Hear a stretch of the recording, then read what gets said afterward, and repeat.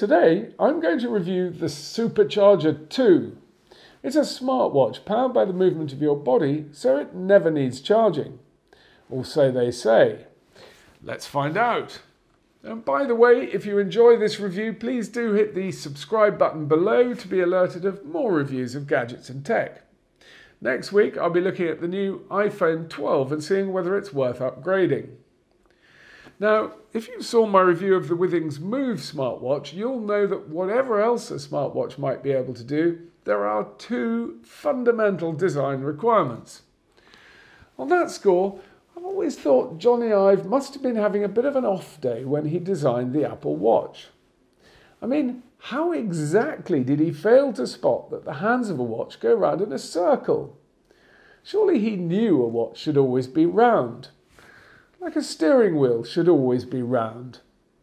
Secondly, a watch shouldn't need charging more than once every couple of weeks at most. I mean, who on earth wants to have to remember to pack a watch charger when they go on holiday? Only if a smartwatch meets these basic requirements am I interested in whatever else it can do, other than tell me the time. But even then, I don't need a watch to check the weather forecast, to listen to music, to get email alerts, to look at a map, or to enter the nuclear launch codes. I can do all that perfectly well on my iPhone. The only extra thing I really want in a watch is a pedometer to tell me how much exercise I've taken that day and keep nudging me to do more. That's all. Now the Withings Steel HR was a pretty good watch. It has an integral pedometer and only needs charging every 25 days. But I found the rubbery strap a bit uncomfortable, a bit sweaty, and although I think they've now fixed it, my early model fogged up. The Withings Move was even better. That only needed a new battery every 18 months, but it had the same rubbery strap problem. And because it's a budget watch, it did feel a bit, well, budgety. Anyway, a year later, and Apple has just given us the Watch 6, which I think now lasts a full 15 minutes before it needs charging. And this latest model can now give you a completely inaccurate blood oxygen reading, which is just what you need if you think you've got a respiratory virus. So how does the Supercharger 2 stack up? Well, first things first, I bought this off the crowdfunding website Kickstarter. Like so many things in this coronavirus world we now live in, it's taken much longer than expected to arrive. Still, the watch came with this nice card inside which says, Thank you for your patience. This has been a longer journey than planned, hopefully worth the wait. And it's signed by an actual person. That's a really nice touch, although the hashtag Swiss made me smile given that the parcel arrived from Taipei. Anyway, let's take a look. Here it is, and I have to say, first impression, I really like it. It's got a lovely, clean, simple design with a really big pedometer dial. It's a few millimeters thicker than uh, your average watch and probably a little bit thicker than I would like, but not disastrously so. On the back, you can see the watch innards. In fact, the Supercharger 2 does come with a charger for those occasions when it might need a bit of a jump start.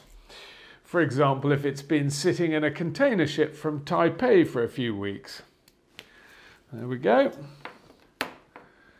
Now to start the watch, first you have to double click the crown. A little blue light flashes and the pedometer indicator goes through one cycle. Gosh, I do love that. I could sit here and watch that all day long. Then it says to pop it on the charger for an hour. Meantime, I've downloaded the app and entered my weight and height. And, oh, it needs the serial number too. My God, that's tiny. You're going to need one of these. Now that's all set up and charged, time to strap it on and see how well it works. There we go. I'll report back in a couple of days. I've been wearing the Supercharger 2 for a couple of days now, and unfortunately, there's been a bit of a problem. A few hours after I started the watch, the dial indicated that I'd done about 5,000 steps, which was a bit of a miracle given that all I'd actually done was walk 50 foot to the kitchen a few times. My first thought was, now that's my kind of pedometer. I wonder if I could persuade these guys to make me a blood pressure monitor. Anyway, the next day I compared the supercharger with the Withings Steel HR. By the end of the day, the supercharger had recorded 12,314 steps versus the steel, which had recorded 8,677 steps. That's a big difference. So which is right? Well, on the next day, I left the watches off until the start of my habitual one hour walk round the village, which I calculate is about 6,200 steps, give or take. When I got back, the supercharger read 6,404 steps, the iPhone read 6,472 steps, and the Steel HR read 6,336 steps. That's odd, because they're all pretty close. Having already established that when out for a walk these things are reasonably accurate, I then strapped them to my wrist one more time for a few hours when I was mainly at my desk working, but occasionally stood up to go to the loo. Not at my desk, you understand, or to make a cup of coffee. Three hours later, and the Withings showed 460 steps. The supercharger, on the other hand, showed 1,360. So it looks like both watches record the steps you take when you go for a walk reasonably accurately, certainly accurately enough to give you an indication of whether you've taken enough exercise that day. The problem is that the Supercharger 2 gets a bit confused by the more random movements you make over the course of the rest of the day. The company that makes this watch is called Sequent, like frequent, I think. Uh, it might be Sequent, like frequent. Anyway, I got in touch with them and they said that the watch is still very much in development and firmware upgrades will improve the accuracy. Meanwhile, in the few days that I've been testing the supercharger, the automatic charging seemed to work very, very well. The charges reliably stayed at 95% or more.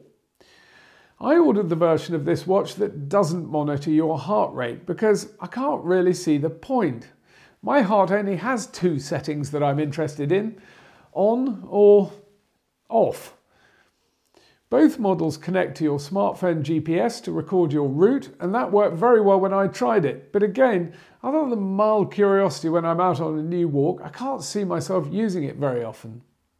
I suppose if you're one of those people who likes to run at times other than when you're being chased by an angry hippopotamus, the heart rate and route recording might be interesting, but it's not for me.